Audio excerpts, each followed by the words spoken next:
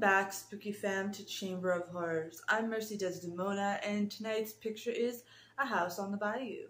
Now, when you first read the description of it, it kind of sounds like one of those cheesy Lifetime movie network um, whining movies. And when it first starts off, I'm not gonna lie, it kind of starts off like that. However, if you stick through it, you will not be disappointed. As always, there's spoilers in my reviews, but they don't do the film justice, so please actually check out the film. Okay? Okay. Anyway, so this wife finds out that her husband has not been faithful. He's been cheating on her with one of his students, and of course, everything is going crazy. So she's like, hey, you know what? I'm stressed out about this. I might be feeling a little crazy. So instead of ending up on Deadly Women, we're going to go on vacation in a secluded area so we can work out our problems and act like a family. And once we return, we will handle our business and, and go with the madness, okay?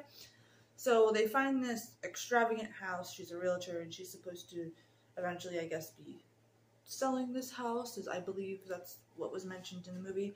And, you know, it's very beautiful and they're relaxing. And of course, the parents are kind of low key bickering and all that stuff.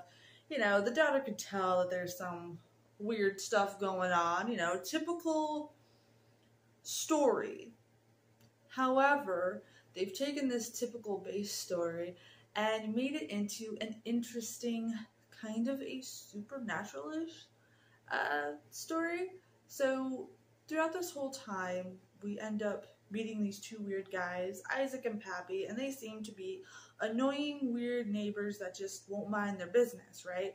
They come onto the scene, they're kind of weird and creepy, and this is where you probably might think that it's going to take a slasher type turn. However, that is not the case, my friends, which is why this movie actually gets an 8 out of 10 on the Spooky Fam scale. Just saying, it's it's really difficult to get an 8 out of 10, and, and they did it with this one. Anyway, so Isaac's being a little flirtatious with the daughter. She's all like, hee hee hoo hoo hoo hoo, you know, and Pappy's just being a Pappy, weird and strange, you know. And they invite themselves over to dinner, and that's when things start getting really weird. They're extra pushy. And then we start to find out that somehow they're aware of the father's dark deeds and that there were more than just the cheating, his overall, you know, character. He's just like an evil dude, right? And the mom and the daughter, they don't know what the heck's going on. They're just trying to survive. So this is where you're like thinking that, you know, it's going to be a slasher type thing because the family's locked in the house with these weirdos.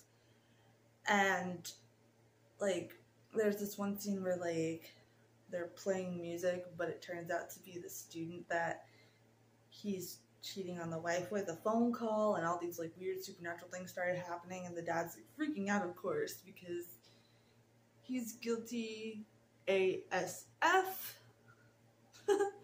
and you know, things just unravel from there. The chick even shows up, and something happens to her, like these people are totally psycho. And you think that they're going to go after the mom and the daughter too, because hey, in these stories, that's all that happens, you know? No. So the mom and daughter escaped the madness, right? They thought that they shot Isaac and Pappy, and they thought, okay, we, we got clear. Let's go. We're going to go to the police. We're going to set this stuff straight. But little did they know that the police have been using the Phantom Isaac and Pappy for a long time to rid the world of some shady characters. And it was such a twisted ending.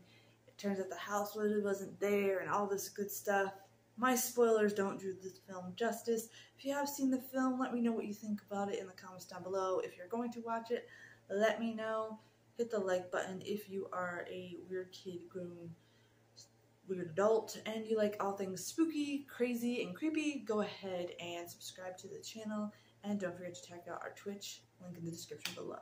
I'll see you next time on Chamber of Horrors, and big shout out to Nick from Dark Mage 4 Productions who created our new theme song. See you guys later. Bye.